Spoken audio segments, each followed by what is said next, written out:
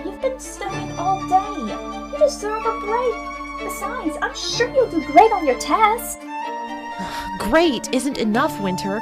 I need to be number one. Either you're the most powerful in the room, or you're nothing.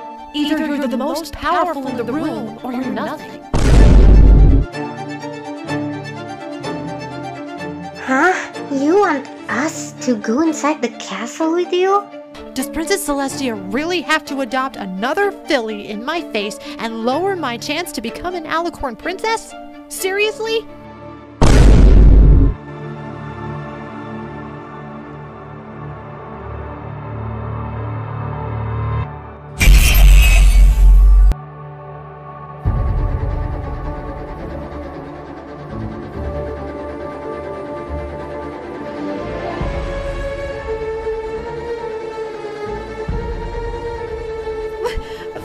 Pony's sake, Celestia!